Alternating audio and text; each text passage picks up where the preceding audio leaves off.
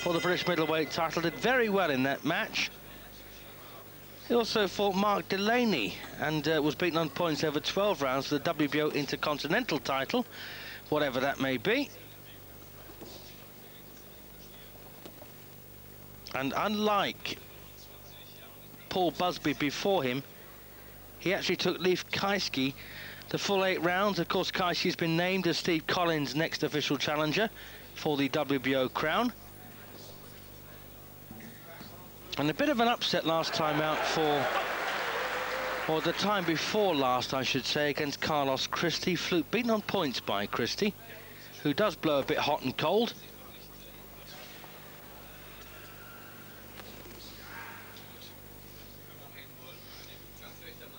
And the last time, of course, we saw Ottke on Eurosport.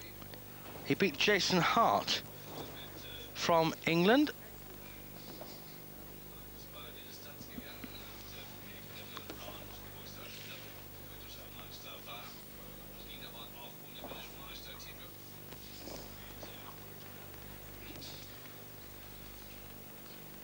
At least this time, Ottke's up against someone much nearer his natural weight I thought Jason Hart was uh, outweighed quite a lot in that match.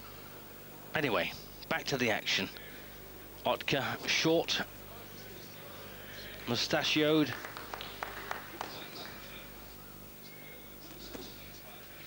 Andy Flute, still a fairly lively fighter. His best days are not really behind him. He's probably reached a plateau, though, but he's boxing quite well from it. Been a pro since 1989. Made his debut in Stoke against Stinger Mason. Won that one on points over six rounds. He's also had the displeasure of facing Robin Reid. Was stopped in seven rounds by Reid. Reid, of course, the reigning WBC champion at super middleweight. And getting better all the time.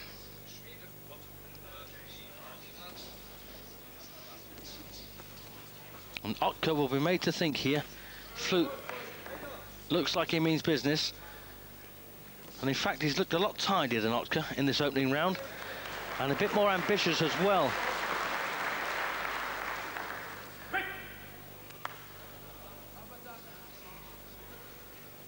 And at first sight, you'd think uh, Sven Ottke was Tony Willis. The Scouser, of course, former British lightweight champion, who boxed in the Olympic Games, I think of 1984, wasn't it?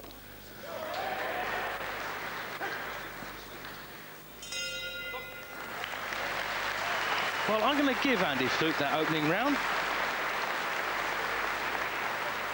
Nothing particularly special from either man, but Flute looked nice and fluid.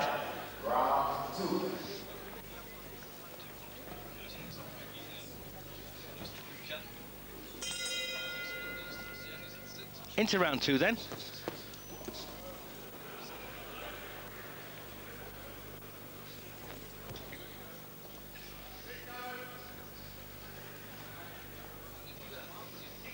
And uh, Flute doing exactly the right thing here.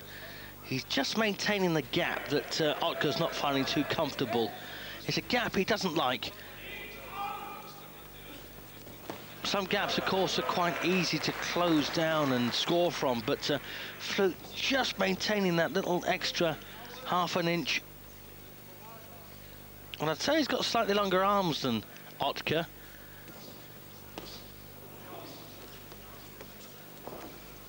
Well, so far, Ottke's not scored with a clean punch in this second round, but Flute has. Don't get me wrong, I'm not get, getting patriotic. In fact, I'm one of those rare animals that doesn't have many patriotic bones in my body, I'm glad to say, but uh, credit where it's due.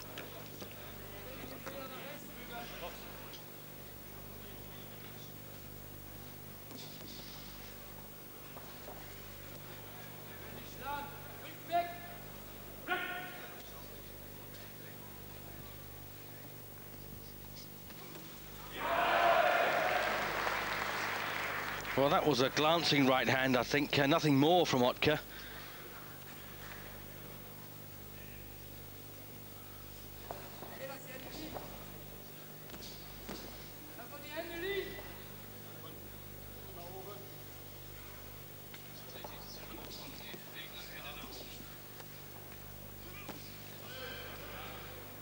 Of course, Ottke would have had a good look at Flute when Andy fought Beyer.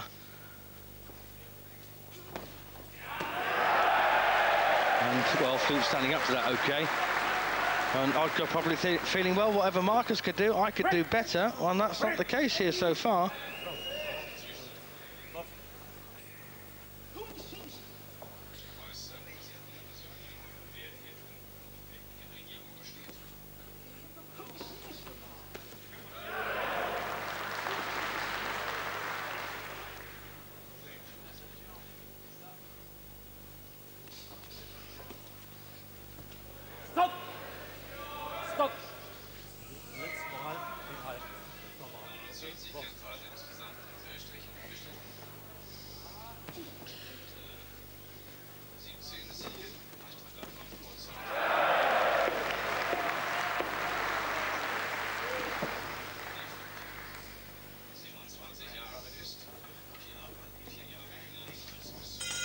Well, at best, I'm afraid that's a level round. Ottke not doing enough to impress me, I'm afraid.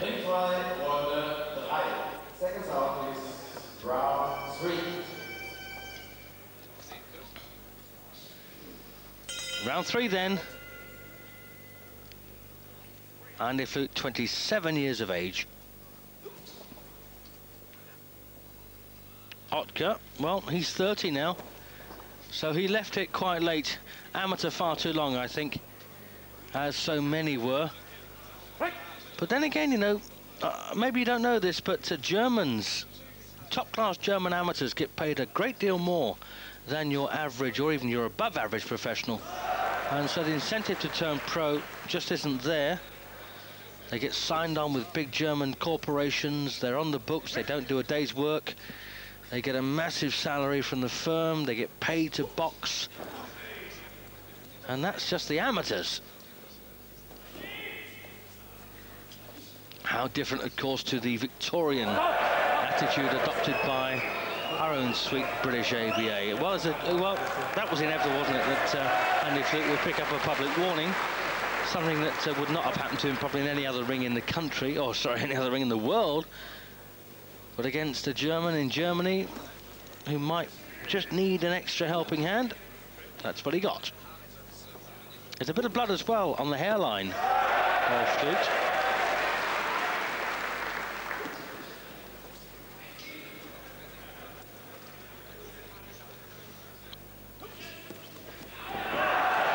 Well, Ottke now looking a bit livelier.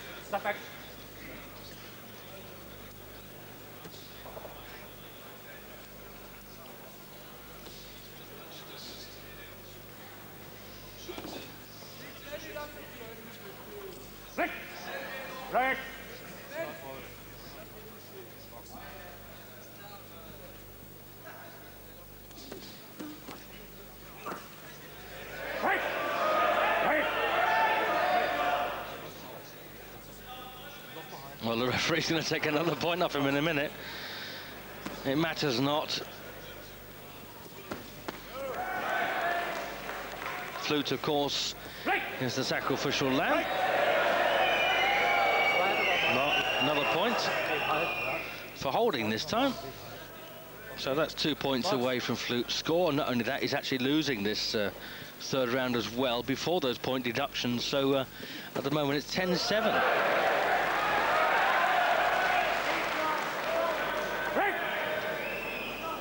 I've been a terrible critic, though, of these um, continental referees for many a year now, and uh, I'm afraid they don't do themselves any favours.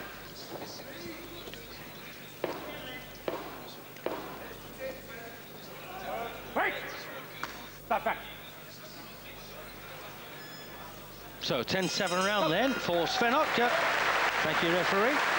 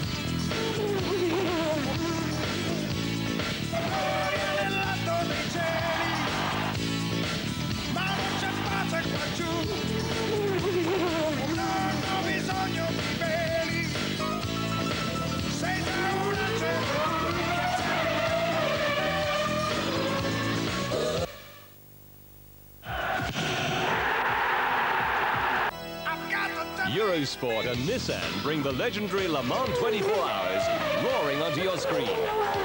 To mark the occasion, Nissan is giving away a stunning Primera GT and other exciting prizes. To win, call now.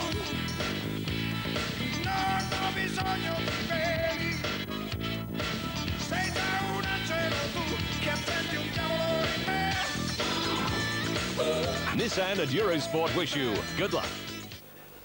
Touch of replay here from round three. As we go into the halfway point of this contest, round four, there's Terry Toole saying, come on. I actually think their Flute's doing very well, but the referee's destroyed his rhythm. He's also taken away his confidence and, uh, more importantly, taken away two unfair points from Flute in round three. See, British referees, or good referees, I should say, not just British referees, get bad referees in Britain as well. I'm not mentioning any, names, um, but, uh, you know, good referees let a contest flow, have a word in the fighter's ear, and the last thing they want to do, really, is uh, start deducting points. But these Continentals, my goodness me, they jump on you. The slightest thing. I wonder how they ever get qualified in the first place. There's certainly not enough boxing occurs. Oh, I know how they get qualified. Of course I do. They actually referee amateur contests. And they do those very badly as well. Anyway, that's enough of that. Back to this. Ottke's come out quite aggressively for this fourth round.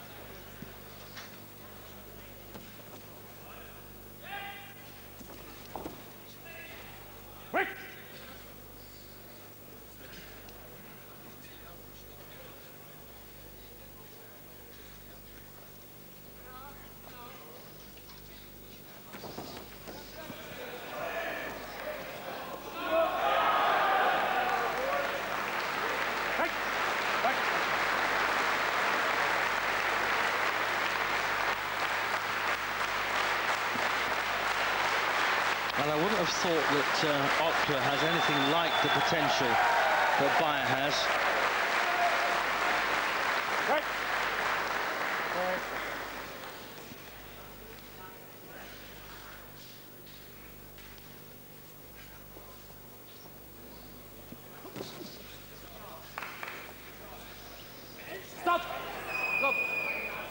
Andy Flute used to be trained by his uncle Colin, who was uh, a pro at the same time as me back in the 70s.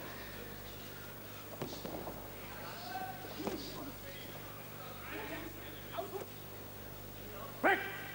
Stop. Back. break is break. Okay? Box.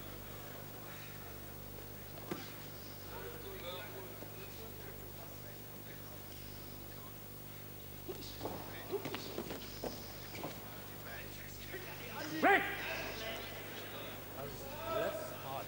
That's the last time I'm telling you for holding, says the referee. But you know what he doesn't appreciate is the fact that Flute is a professional. He's a good pro as well, and he's doing what it takes.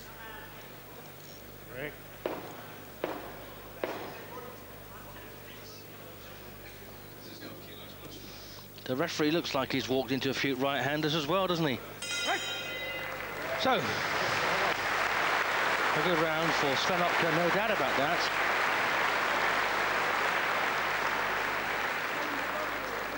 Three points in front now. The. Round five. Penultimate round then, round five, both men wearing red. Sven of course, is touched off with the gold and black, making up the German colours. Against Wolverhampton's, or Coseley. Coseley is uh, a borough of Wolverhampton.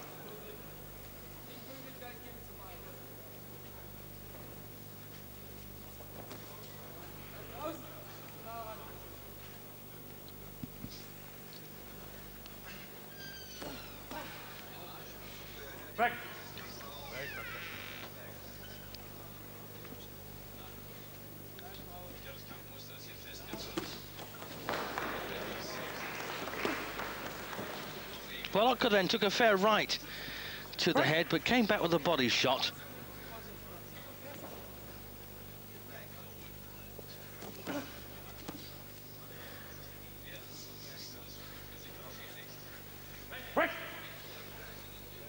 Well, it takes two to tango, and Ottke as guilty as Flute for leaning on on the inside there, as you can see.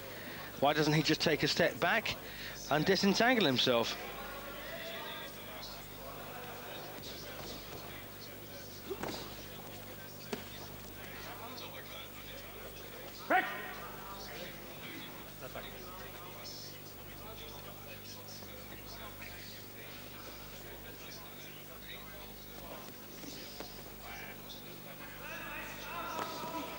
A nice stiff left from Flute. Break.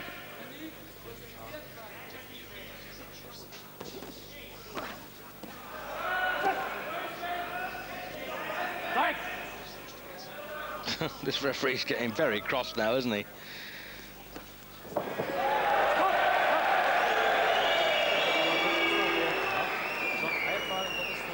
Right, well, knock him out one more time and it's over, says the referee. Terribly intolerant, aren't they? They're just not taught right, end of story.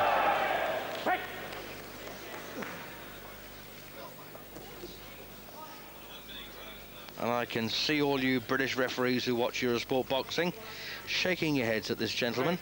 He's from Berlin. I can't remember his name. Otherwise, believe me, I tell you.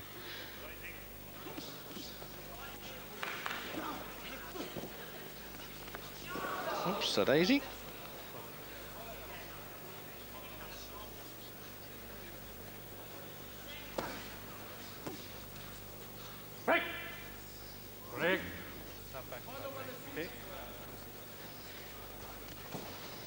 Really should be fun, shouldn't it? As well as uh, a serious occupation, it should be something you enjoy. And this man has got the look of, uh, you know, he's got the look of someone who's having a thoroughly nasty time out there.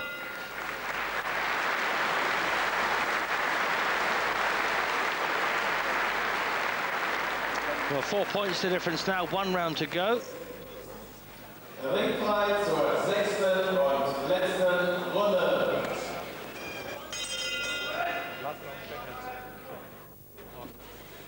Here we go then, sixth and final session.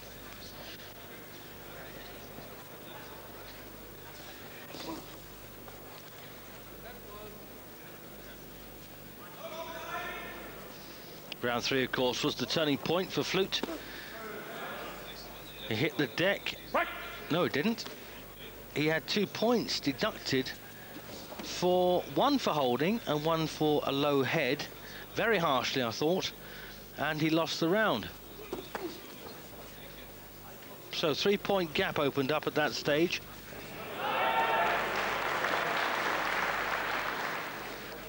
And it's a gap that's got bigger as the fight's worn on.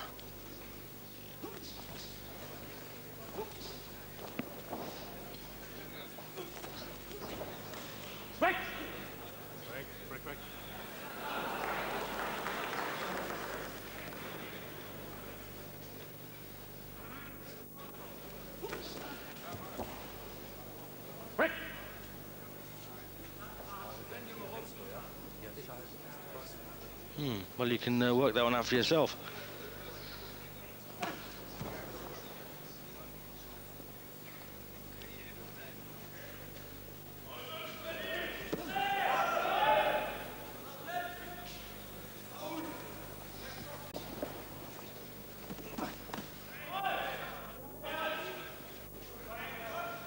Yes, I'm afraid, um, you know, to come down quite heavily on on Ottke's potential.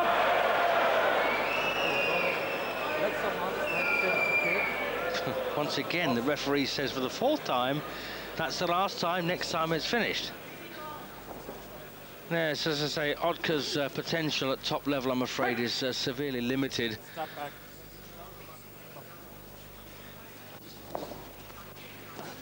It's been a scrappy encounter.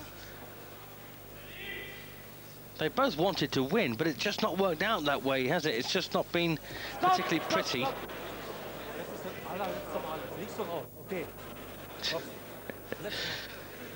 Once again, he says it's the last time. How many last times does this referee want? Of course, it's important for Andy Flute that he doesn't get disqualified because his purse would have been withheld pending an inquiry. Wait! Wait! Wait! Stop, stop.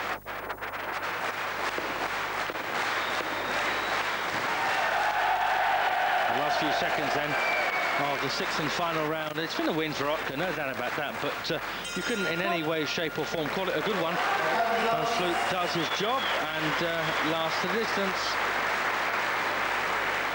59.54 for me, which of course is completely academic. Makes no odds. But a contest, I think you'll say, more uh, marred by a mauling referee. What a shame. Just time to remind you, we've got some more boxing for you on Saturday. Well, he does look like Tony Willis, doesn't he? Next, we've got Angus Loughran and his world. Andy will be back tomorrow as usual. Anyway, I don't even think he's ill. I think he's putting it on. I don't blame him having to go through this ordeal every morning. It's not just him, though. It's me as well. I'm getting blinks. I live with him, but nobody thinks about me. Of course we do, son.